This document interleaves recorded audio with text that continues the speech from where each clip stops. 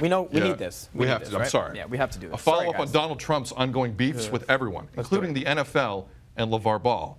My apologies. I feel like we have to follow up on this. Trump tweeted about both this morning. First on LaVar Ball, who has refused to thank the president after Trump took responsibility for getting his son and two UCLA basketball teammates out of China after they were accused of shoplifting.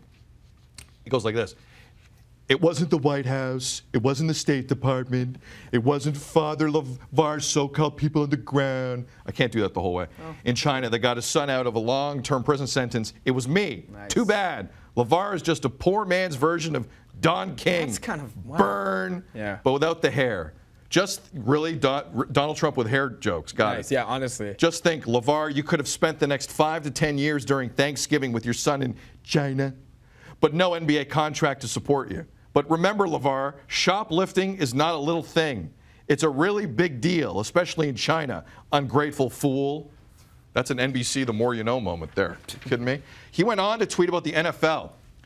This is the President of the United States. The NFL is now thinking about a new idea. Yep. Keeping teams in the locker room during the national anthem next season. That's almost as bad as kneeling.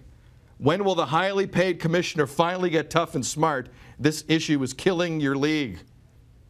Uh, first off, this is how basically they used to do it all the time before they struck a deal with the military. There was actually a financial transaction, so players were out. But, 09. but That's when it forever, happened, yeah. 2009, but forever, uh, teams were in the locker room during the national anthem. And I, I really, in, in terms of the LaVar, LaVar Ball stuff, I really don't. First off, before we uh, tie a bow on the Trump thing, he's not tweeting, guys. Like, we all know this, right? We all know Donald Trump. There's no, he can't work Twitter.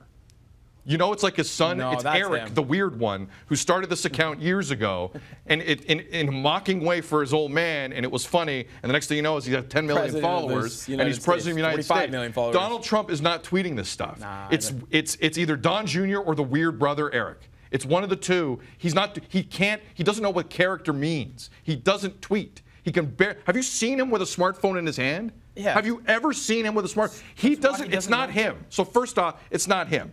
But with that said, the LaVar Ball angle to this. Dude. Did you see Darren Rovell's I tweet from earlier? Thirteen point two million dollars Throw in up, ad please. revenue. So thirteen point two million in estimated ad value for Big Baller Brand since the feud began just last week. You know who planned that? LaVar freaking Ball. Yep. LaVar freaking Ball. LaVar Ball did it. Playing everybody on things. Happy Thanksgiving. The big Thumbs winner. up, big guy. The big I'm winner the winner. is LaVar, Ball. Good for you, LaVar. Good for you.